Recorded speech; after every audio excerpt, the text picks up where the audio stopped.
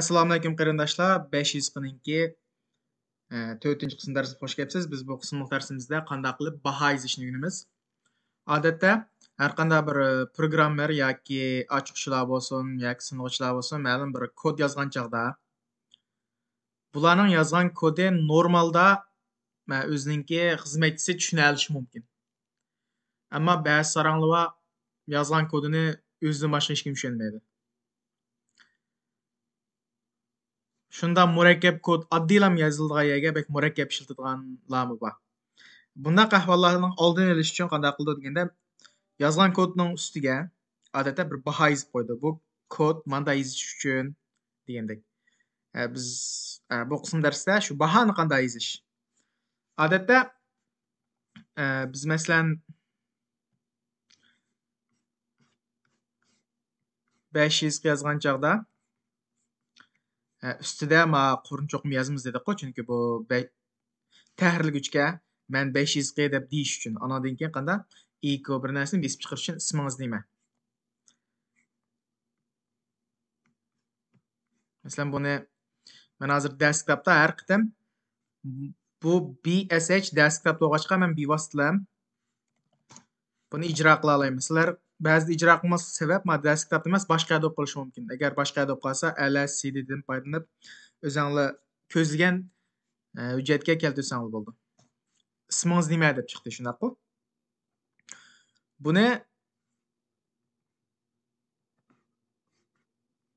program tili chunki man tunji program tili debman bu besh yuzga bu tayyorlaguvchiga birinchi qurdaqanda man besh yuz q deb deyapti degan keyin bu tayyorlovchi tushundi buni. Bu besh yuz q ekan unda olsa man mani iko ma buyruqni qana besib chiqib kelman deb besib chiqadi. Shunaqa. Hamda ba'zi masalan buni nima deymiz?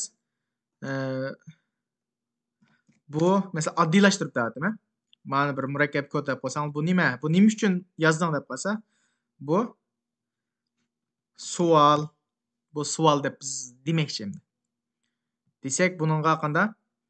Tahrirlagich buni nimaligini qanday buni besib chiqolmaydi buni qanday qildi ma hash belgisini besib qo'ysak tahrirlagich nima deb tushundik desak tahrirlagich men buni besib chiqolmaydi ekanman buni ijro qilmaydi ekanman bu qurni otlab o'tib ketar ekanman deb tushundi buni endi ijro qilsakchi ismingiz nima Ma kodni ko'rgan odam bu savolkan deb manda tushundim. An eng oddiylashtirayotiman amaliyotda bu bu odatda shirkatda ishlab qolsanglar yoki bu bek murakkab kodlar bo'ldi bir buni cheklamasi nima deganda bu bir hashtagniki faqat birlam bir qurlam shu qurning o'zinikini otlab o'tib ketaoladi masalan man man ikoni yozib qo'ysam hashtag yozib qo'ysam buni cho'qim save qilishimiz kerak a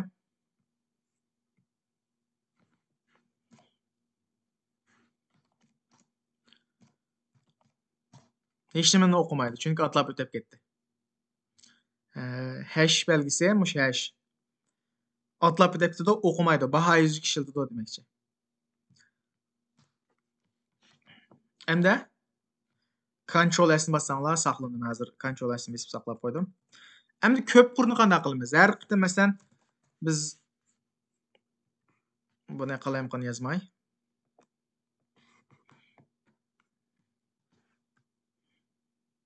buni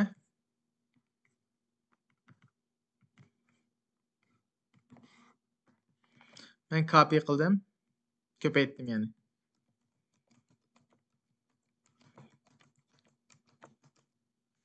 Shunday bir muncha kod bo'lsin biz qanday qilmoqchi? Men malani qanday qilayapman baholab aytmoqchi bo'lsam baho yozib qo'ymoqchi bo'lsam yoki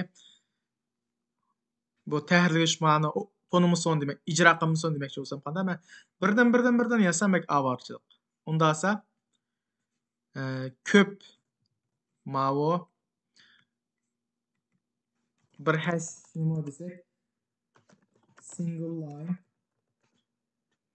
comment deydi comment degan baho demoqchi endi man ko'plikni yozmoqchi bo'lganim uchun hozir man mishadan mishagacha birinchi xil usul har birisini oldiga hashni yozsangiz bo'ldi birdan birdan birdan yoki osim chekitni qo'yib space'ini birini urib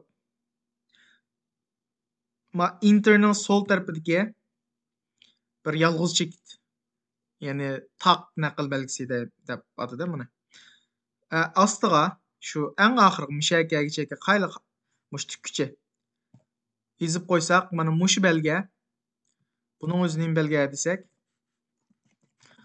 multi line comment. Mana bu ko'p qur line degan qur degan gap. Mana single taq qurning bahosi mana bu qanday? Ko'p qurning bahosi masalan men buni ijro qilsam chek degan to'siq bilan besh o'xshash ismingiz nima? Ma to'rtinchi qur bilan o'n sakkizinchi qurni bilan besib chiqaryotidi mani qanda? Mani bilan mani besib chiqolmaydi demoqchi unda esa yana bir gap. Biz xohlagan orsidagi yana bir e, besib chiqarish usuli bor. U qanday desak mushu i kodini tortib besib chiqaradigan hammani. Mana besib chiqolmaydig'ini hamda besib chiqirdig'ini u qaysi desak O ne? Multi-line print deb atay. Besip chiqardigan cat anandi ekan kichik belgisida eshikgina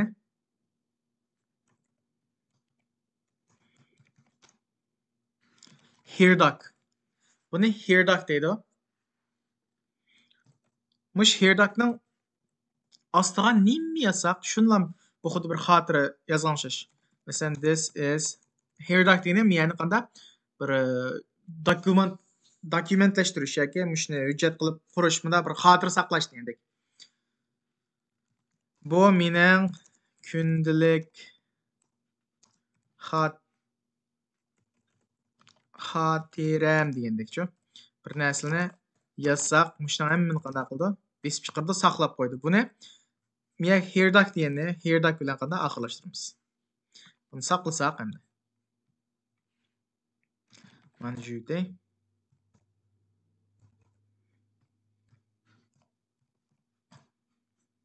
mana. Bu mening kundalik xotiram mushlim qanday hammani besib chiqaryotidi yana bir diqqat qiladigan nuqta nima deganda bu herdak miyaga nim deb olsak bo'laverdi?